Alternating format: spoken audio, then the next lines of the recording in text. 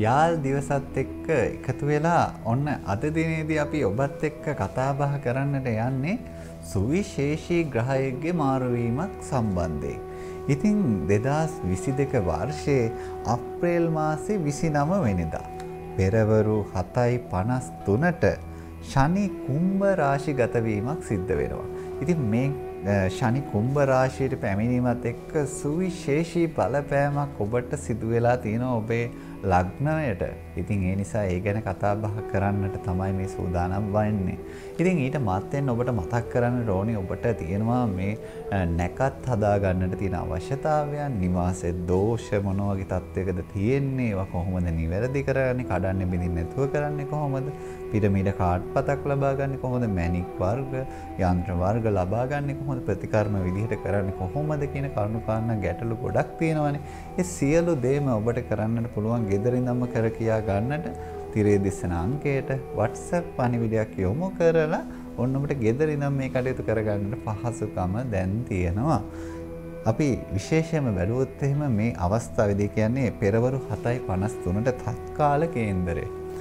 ලග්නය පෙන්눔 කරන්නේ වෘෂභ විදිහට. හෝරාව කටක විදිහටයි පෙන්눔 කරන්නේ. ත්‍රිංශාංශක මීන. ද්වා දශාංශක තුලා ඉතින් මේ ආදී ආකාරයට දීර්ඝාන ශබ්දාංශක නවාංශ කියන කරුණු කාරණාත් අපි විශේෂයෙන්ම සලකා බැලීමක් කරලා තියෙනවා. මේ පලාපල විග්‍රහය මොන වගේ වෙනවද කියන එක ඔබට ඉදිරිපත් කරද්දී ඉතින් ශනිගේ දශාභුක්තිය තියෙන අයට මේකේ තියෙන බලපෑම ඉතාමත්ම ඉහළයි. ඉතින් එහෙම නොවන අයට මේකේ තියෙන බලපෑම අවමයි කියන කාරණයත් ඔබ විශේෂයෙන්ම අවධානයෙන් ලක් කරගෙන මේ පලාපල විග්‍රහය අහන්නට වෙනවා. තත්කාලයේදී රවි උච්චව සිටීමත් බුද්ධ මිත්‍රව සිටීමත් ගුරු ස්වශ්‍රේෂ්ඨගතව සිටීමත් ශුක්‍ර උච්චව සිටීමත් ඊටාම යහපත් බල පිරිනමන ස්වභාවයක් ගතියක් තමයි ඔන්න පවතින්නේ ඔබට. ඉතින් ඒ නිසා ඒ ග්‍රහයන්ගේ තියෙන සුබදායි බලපෑම ඔබට අනිවාර්යයෙන්ම හිමි කරනවා. ශනි මකරේ ස්වශේෂ්ඨ බලයෙන් දෙනට නැකතේ දෙවන පාදයේ තමයි ඔන්න සිටින්නේ. එතකොට ප්‍රකාශ අවස්ථාගත ශනි කුජ අධිපති හා උප අධිපති බුද්ධ බවට පත් වෙනවා. ශනිගේ පතනය සිදුවෙන්නේ එහෙම නැත්නම් ශනිගේ වෙනස්කම සිදුවෙන්නේ මෙන්න මේ ආකාරයට තමයි. ඉතින් ඒ ගැන බලද්දී 2022 අප්‍රේල් 29 වෙනිදා පෙරවරු 7:53ට තමයි මේ ශනිගේ වෙනස් වීම ඇති කරන්නේ. ශනි කුම්භයට මූල ත්‍රිකෝණ බලයෙන් දෙනට නැකතේ තුන්වන පාදයේ තමයි වැටෙන්නේ. ඉතින් එහිදී නේත්‍රාපානී අවස්ථාවට වෙනස් වීමක් පවතිනවා. කුජ අධිපති හා උප අධිපති බුද්ධ බවට පත් වෙනවා.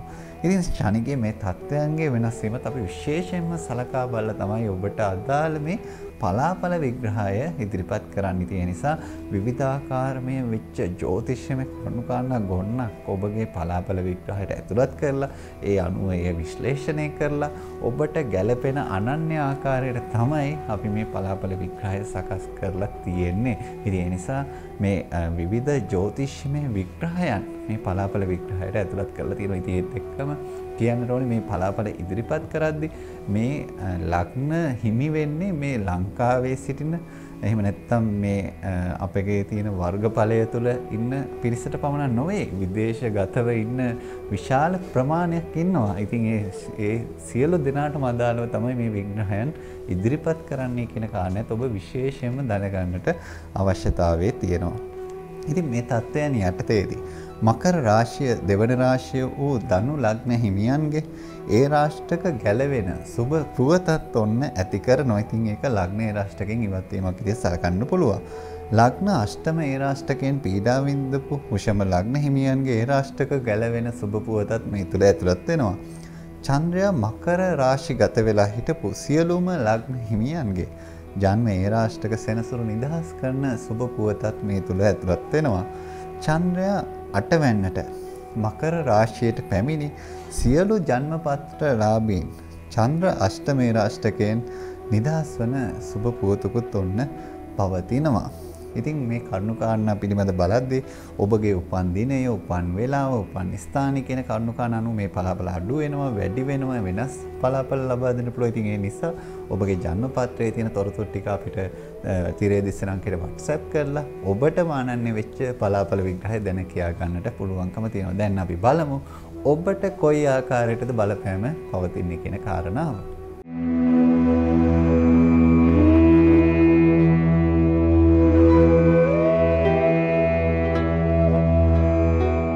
දෙදස් විසි දෙක වර්ෂය අප්‍රේල් මාසේ විසි නම වනදා පෙරවරු හතයි පනස්තුනට ශනි මාරු අපේ වෘච්චික ලක්න හිමියන්ගේ ආර්ථිකයට කොහොමද බලපාන්නේ කියන කාරණයයි දැන් අපි පළමුවෙන්ම තෝරා ගත්තේ. බලාපොරොත්තු නොවූ ධනලාභයක් ඔබට ඇති කරන තත්ත්වයක් පෙන්වන්නේ. කියන්නේ ඔබ අපේක්ෂාවක් තිබුණේ නැහැ. නමුත් ඔබට ඔන්න ඒ වගේ ධනලාභයක් ලැබෙන තත්ත්වයක් තියෙන්නේ. සිදු කළ ආයෝජනවල ඉහළ ලාභාංශ දක්වන එහෙම නැත්නම් ඉහළ ලාභාංශ පෙන්වන තත්ත්වයකුත් ඔබට පවතිනවා. රැකී ආරක්ෂා ගැනයි දැන් අපි අවධානය. රැකියාවේ උසස් වීම හිමිවන වාසනාවන්ත තත්ත්වයකුයි ඔබට පවතින්නේ. බොරු චෝදනාවලින් ඔබව ආරක්ෂා වන තත්ත්වයකුත් ඔන්න රැකියාව පැත්තෙන් පෙන්වනවා. ඉතින් බොරු චෝදන ආවට ඔබව එයින් සුරක්ෂිත වන බව කියන්නට ඕනි. ගෘහ ජීවිතය ගැනයි දැන් අවධානය. ගෘහස්ථය තුල වාද විවාද නම් බහුල තත්ත්වයක්මයි පවතින්නේ. එහෙම නැත්නම් වාද විවාද බහුලව ඇතිවෙන කාලයක් විදිහට කියන්නට පුළුවන්. පියාගේ පාර්ශවයේ දීපල උරුම හිමිකමකට බලය සහිත තත්ත්වයක් ඔබට පෙන්වනවා. අධ්‍යාපනයට කොයි විදිය බලපෑමක් තියෙනවද කියන කාරණය දැන් අපි බලමු. උසස් අධ්‍යාපනයේ නිරත පිරිසට වඩා හොඳ අධ්‍යාපන අවස්ථාවන් ඇති කරන තත්ත්වයකොයි පෙන්눔 කරන්නේ අධ්‍යාපනයේ පැත්තෙන්. අධ්‍යාපන කටයුතු වල සාර්ථකත්වයට නිසි උපදේශනය ලැබෙන කාල සීමාවක් විදිහටත් පෙන්눔 කරනවා. ඒ කියන්නේ හරියට මඟ පෙන්වීමක් ලැබෙන ඒ අධ්‍යාපනයට වඩා සාර්ථකත්වයට පියමනින්නට පුළුවන් බොහොම හොඳ කාලයක් අධ්‍යාපනයේ පාර්ශ්වයේ තියෙන නිසා ඒ ලබා ගන්නට පුළුවන් හැකියාවක් තියෙන ඒ අධ්‍යාපන කාල සීමාව ඔබ හොඳින්ම ගත කරන්න මතක තබා ගන්න. දැන් අවධානයේ විවාහ අපේක්ෂිත වෘශ්චික ලග්න හිමි ඔබ ගැනයි. විවාහ බලාපොරොත්තු කල් යන තත්වයක් තමයි ඔන්න පවතින්නේ. විවාහ අපේක්ෂිතයන්ගේ මත ભેද ගොඩ නැගෙන තත්වයකුත් පවතිනවා.